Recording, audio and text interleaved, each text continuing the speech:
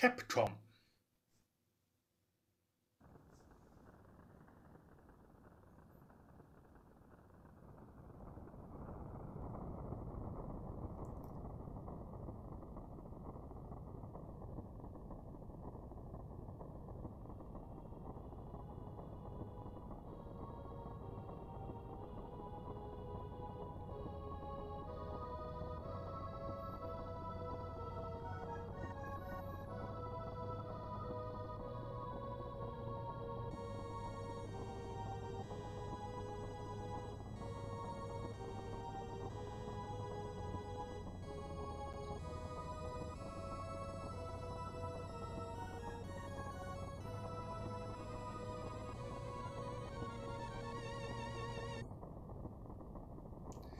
Ja, und damit herzlich willkommen, meine Freunde, zu einem neuen Let's Play-Projekt. Ihr seht es, wir spielen Demon's Crest, einem Super Nintendo-Spiel, das dem Super Goats and Ghosts Spin-Off näher kommt.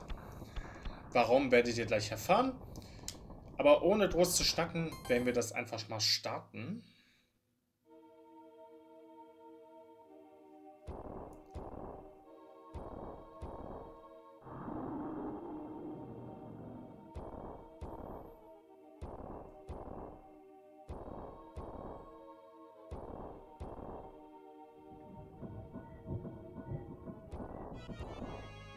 Jo, hi.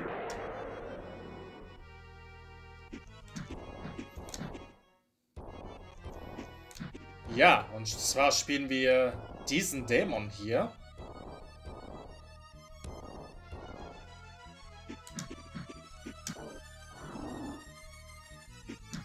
Der kann springen, der kann fliehen, der kann Feuerbälle schießen.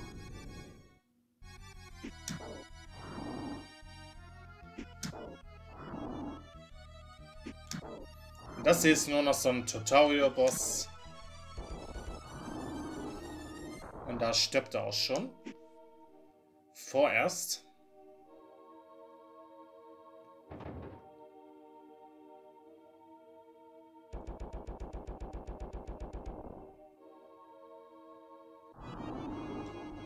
Jo, hi. Da bist du ja wieder.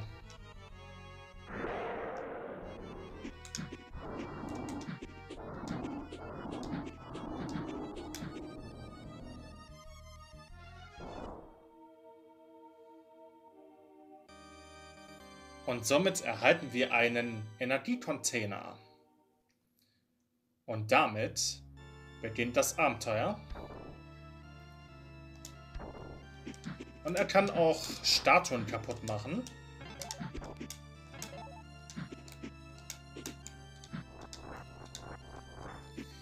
Ja. Ich kenne das Spiel an sich schon. Ich hatte das damals auf dem Switch Online angezockt. Und mir hat das Prinzip aus Castlevania, Ghosts and Ghosts und Metroid schon mal sehr gut gefallen. Allerdings hatte ich das Spiel damals nicht zu 100% gespielt. Da habe ich nur ein Bad Ending bekommen und dann habe ich das erstmal nicht weitergespielt. Und hier haben wir gleich das erste Pergament. Pergament. Oh, mein Deutsch ist heute auch wieder gut am Start.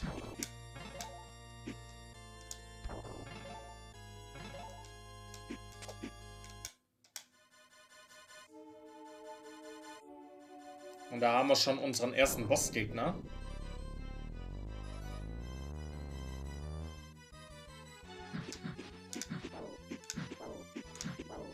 Der eigentlich ganz easy zu besiegen ist.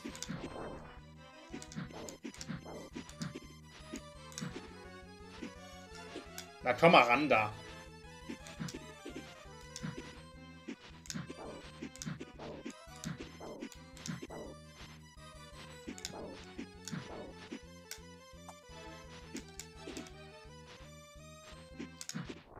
Und tschüss. Und das Ganze nur Damage geschafft. Und jetzt müssen wir die Statue noch einmal niederkloppen, sonst re regeneriert sie sich. Und wir erhalten gleich noch einen Container.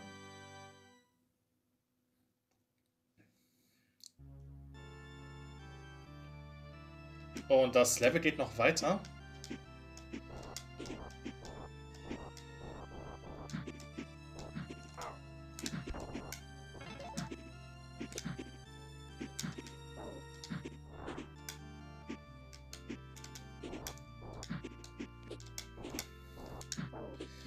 Und ich muss schon sagen, das ist ein mittlerweile sehr untergekommenes Retro-Spiel.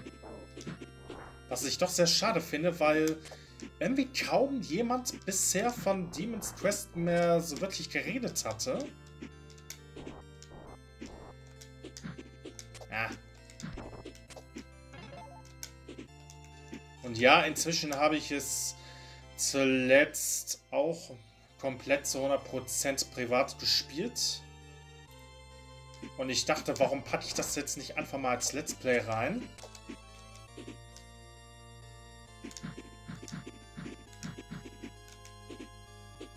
Äh. Das war jetzt total dumm, was ich gemacht habe.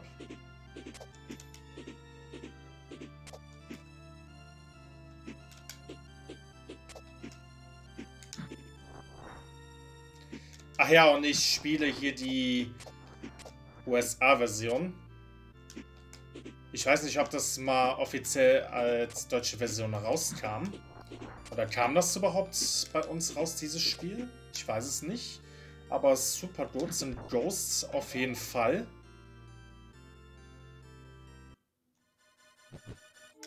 Und da haben wir unseren nächsten Gegner.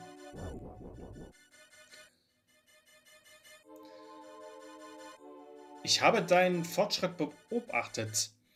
Und ich bin froh, dass ich... Äh, also...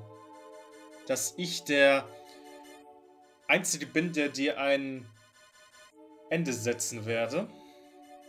Ich glaube, du hast von mir gehört. Ich heiße Arma. Ich werde dein... Ähm... Ja, Ich werde dein Vernichter sein.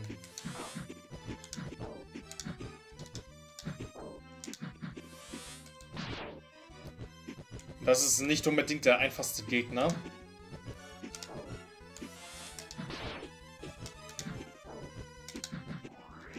Äh, shit.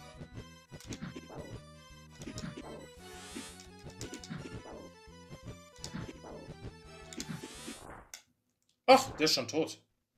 Noise. You do seem to possess a strength people have been talking. Ja, du scheinst die Stärke zu besitzen, von denen die Leute reden. Ah, mein Mikro. Shit.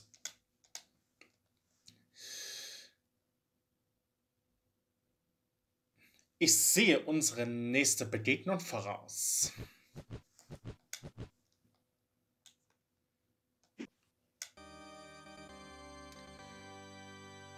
Du hast den Quest der Erde gefunden.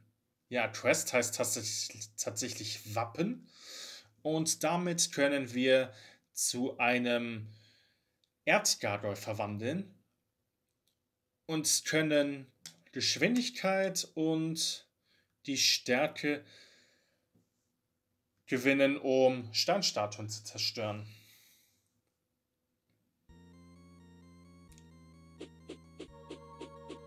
Ja.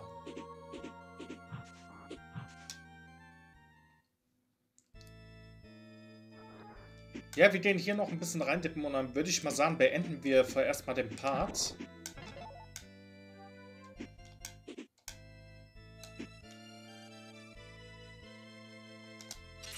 Und zwar kann man hier wirklich einiges machen. Man kann hier nämlich auf gewisse Art und Weise Kohle sammeln. Zack.